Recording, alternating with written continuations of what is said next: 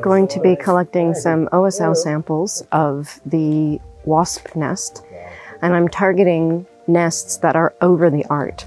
And this is a relative dating technique that we're using because you can't really date rock art in itself because it's inorganic. So the wasp nest, um, in this instance, we're going to try OSL, optically stimulated luminescence. So we've got a, a, a handprint here. It's a right hand with some red paint. This dark stuff I think is just natural part of the rock. And we've got a big uh, nest on top of it.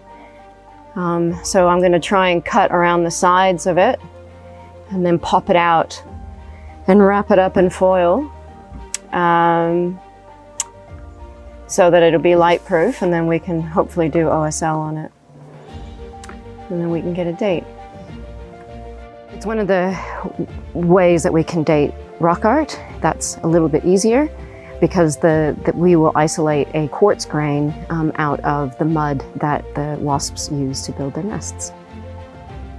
A blackout blanket is wrapped around me to create light-proof conditions while I collect the OSL sample. And I have a red light head torch to illuminate the area where I'm working.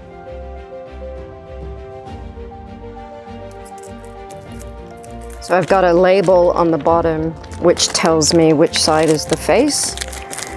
I'm gonna put it in here with a bunch of paper towels so that it doesn't roll around and get smashed up.